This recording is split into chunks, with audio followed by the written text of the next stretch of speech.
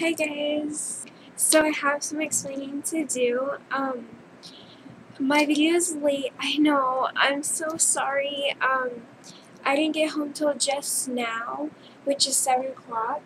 And yeah, so I'm so sorry that it's late, but I am your new Wednesday on Them Funky Girlz. So yeah, I'm so excited about that.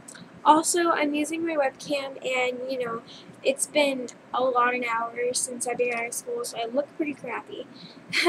so, anywho, um, I'm going to just get started.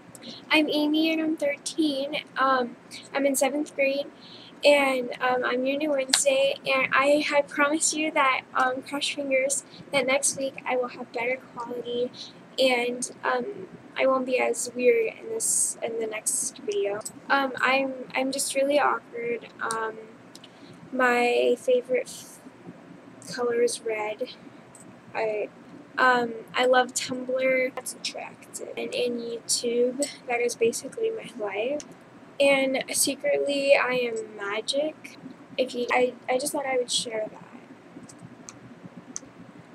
These are my let's try to make this less awkward glasses, but I highly doubt they're working. So, um, this week's theme is superstitions. I think I already said that.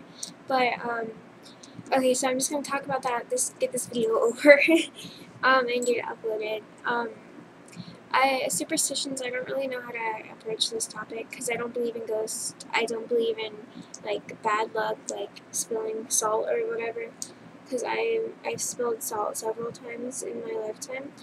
Um, I, I believe in good luck, but that's not really superstition. I have a good luck bracelet, um, but that's like I, I I don't believe in aliens like those green little monsters, but um, you know there could be some people out there that are like us, but somewhere else, and they're thinking about us wouldn't that be so cool? I don't believe in bad luck or ghost. Um, I guess there could be ghosts. Um, I don't know. Um, so yeah.